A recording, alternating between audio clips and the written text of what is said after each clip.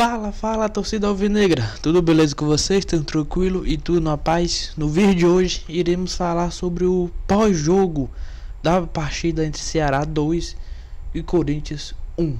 Né? Iremos falar sobre esse, essa vitória da equipe do Ceará, né? essa, essa vitória de virada em cima do Corinthians por placar de 2 a 1 um, né? Ontem acabei nem fazendo live porque nem acabou dando certo, né? Nem acabou dando tempo, né, para de fazer o, o, o pós-jogo, né? Só deu certo colocar a entrevista do treinador, do Guto Ferreira, né? Observe, eu vou deixar aqui, até aqui no card, caso você não tenha conferido, né, o, a entrevista do treinador Guto Ferreira, vou deixar aqui no card para você dar uma olhada assim que terminar esse vídeo, beleza? Mas antes de mais nada, antes a gente conseguir, né, começar esse pós-jogo, né, um pós-jogo do dia seguinte, né, dessa vitória do Ceará, vamos deixar aqui seu like, vamos deixar aquela, aquela curtida, aquela fortalecida, para dar, né, para aumentar cada vez mais, né, a, a, como pode dizer, né, fortalecer, na verdade, né, fortalecer cada vez mais o nosso canal, né, ajudar cada vez mais, essa palavra, ajudar cada vez mais. Então vamos deixar o like, se inscrever no canal, ativar o sininho de notificação para receber os próximos vídeos. Ao lado do botão de se inscrever, aqui embaixo, se inscrever, tem um botão de seja membro. A partir de R$ reais por mês, R$ 2,99, você ajuda cada vez mais o canal a crescer, a, a gente a trazer notícias do Ceará, beleza? Então se inscreva, deixe o seu like, é, ative o sininho da notificação, vire membro e compartilhe o vídeo com os amigos, beleza? E vamos para esse pós-jogo, né? Eu estava aqui analisando, estava aqui observando, na verdade, o os melhores momentos, né? Os melhores momentos da partida de ontem, né? Da vitória de virada do Ceará por 2 a 1 da em cima do Corinthians. E o que o que eu tenho que falar assim, a, a priori, né? Vencemos a partida, beleza. Vamos comemorar o resultado da partida. Mas nós precisamos ainda de reforços.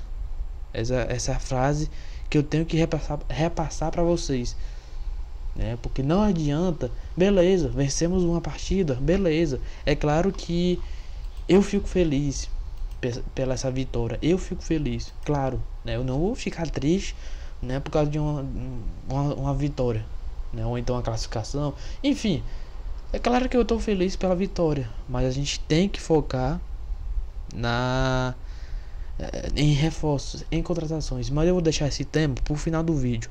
Né? Pro final do vídeo eu vou tratar esse assunto um pouco mais detalhadamente. E, enfim, tava aqui olhando os melhores momentos, né? Alguns momentos da partida, né? Que, sinceramente, foi uma partida que mal teve um, um, um como pode dizer, muito lance, assim, para né? Pra poder analisar diretamente. Né? Mas o primeiro lance que eu tenho que falar é aquele lance do Thiago Pagnussá na bola, acho que foi o Vinícius que cruzou na bola no primeiro tempo uma bola de escanteio que foi cruzado.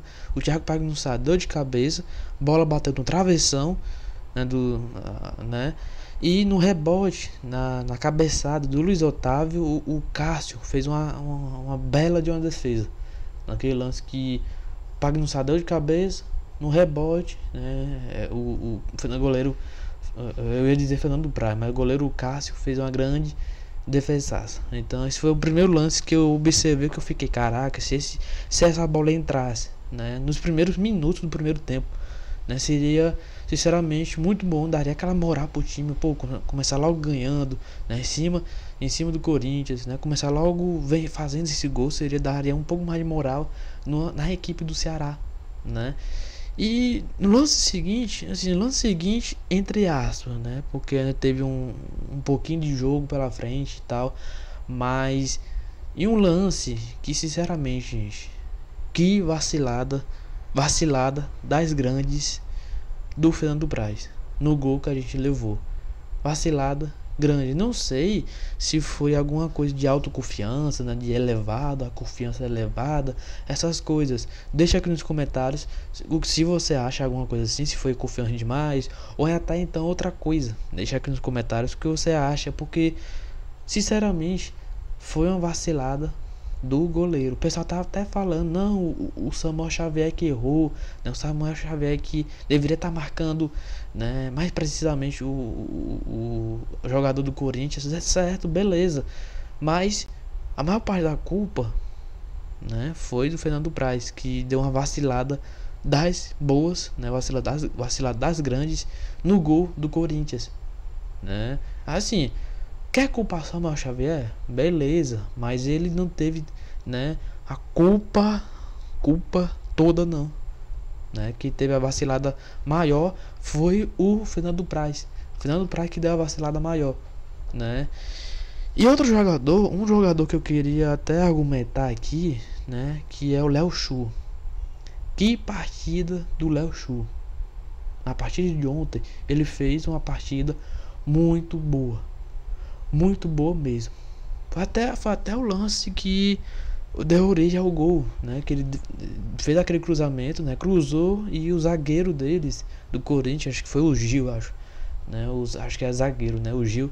Enfim, me corrijam se eu estiver errado, né? Mas é, o, o, o, zagueiro deles, né? O Gil, acabou né, fazendo esse gol pra gente.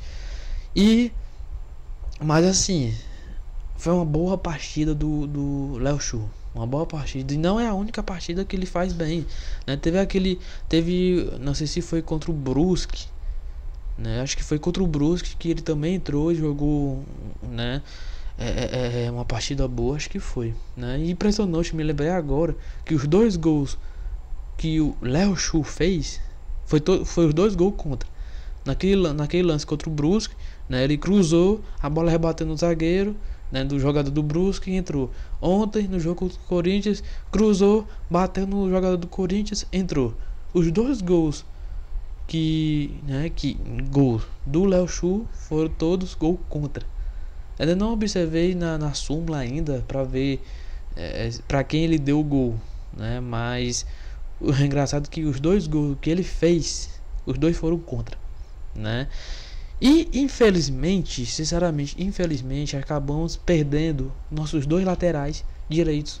Acabamos perdendo, né, tanto o Samuel Xavier quanto o Eduardo. O Samuel Xavier perdemos, né, por lesão, né, acho que foi na coxa, na coxa direita, né, na coxa direita, coxa, não sei, mas perdemos ele por lesão. Infelizmente, acabou sentindo no primeiro tempo, né, que acabou fazendo substituição. Entrou Eduardo, ele saiu e entrou Eduardo. Beleza, até aí né?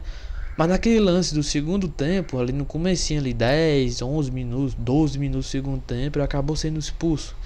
Assim, por um lado eu concordo com a expulsão, porque ele acabou levantando um pouco demais o, o cotovelo, que acabou ocasionando o, né, a expulsão. Beleza, mas assim, por outro, por outro lado, sinceramente aquele lance é para amarelo, pelo menos. Assim, no máximo né? Eu tenho essas duas versões, beleza. Por um lado, por um lado, beleza, levar o cartão vermelho porque ele levantou um pouco demais o braço, mas por outro lado, eu fico com essa, pô, deveria ser pelo menos um cartão amarelo. Beleza, marcaria a falta, mas pelo menos um amarelo. Né? Então, infelizmente, acabamos perdendo tanto Samuel quanto o Eduardo, que são dois jogadores da lateral direito. Quem eu colocaria no próximo jogo do Ceará, né? Que no meio de semana vai ter jogo né, bater Brasileirão, sendo que o Ceará não joga, mas só vai jogar no fim de semana. Iremos ter uma semana aí de descanso e treinamento. Então iremos pegar, acho que no sábado, o Fluminense. Né, então aí tem praticamente uma semana aí de, de repouso, né, de repousar e treinar. Quem eu colocaria na posição do é, lateral direito, né, do Eduardo e Samuel? Ou colocaria o Fabinho, que o Fabinho já jogou né, nessa posição né, que eu poderia colocar ele ou então o Fernando Sobral, o Fernando Sobral que já atua, que pode atuar na lateral direita, né, ele sabe, ele sabe muito bem ir para o ataque, né, fazer o papel que o Samuel Xavier gosta de fazer, que é ir muito para o ataque, e também o, o, Fernando Sobral gosta também de marcação, né, na minha opinião, claro. Né? Deixa aqui nos comentários o que você acha sobre isso, né? Se o Fabinho é uma boa ou Sobral, né? Deixa aqui nos comentários, né? E outro jogador que eu tenho que também colocar é que na hora do, do, do pênalti ali do Ceará, sinceramente, que lance bom nosso lateral Kelvin, né? Porque por conta disso, por conta de, porque o que, que ele fez? Ele pressionou a saída de bola do Corinthians, conseguiu pressionar a saída de bola, principalmente do goleiro Cássio, né? E fez com que o goleiro se ficasse nervoso, né? Aí acabou resultando né? Acabou querendo tocar pro jogador do Corinthians que deu aquela roubada de bola, acho que foi o Lima, se não me falha a memória, mas acabou resultando na é, no lance do pênalti. E muito bom é, é, o time querer pressionar né, essa, esse pressionamento do, do, do Kelvin, né, por ter conseguido, né, ter esse lance de pênalti, foi um, uma grande, né, grande, grande e belo lance, né, que originou o pênalti que resultou no nosso gol, né, e que gol do, do, do, do Fernando Sobral, né, aquele, aquele chute certeiro no meio, aquele chute que, que se o goleiro ficasse ele teria pego, né, que resultou, mas acabou resultando na vitória do Ceará por 2 a 1 de virada né, em cima do Corinthians. Né? Então vai ser uma vitória que é, é, é, é como eu digo, precisamos, vamos comemorar, mas vamos comemorar a vitória, mas é, não vamos esquecer que a gente precisa ainda de reforços. Porque até, até o momento estamos em 11 primeiro. Estamos em 11 primeiro mas ainda falta ainda 23 rodadas pela frente. 23 rodadas. Campeonato grande, campeonato longo. E precisamos sim de reforços. Precisamos. Ah, beleza, a gente venceu o Corinthians virar, tá tudo bem.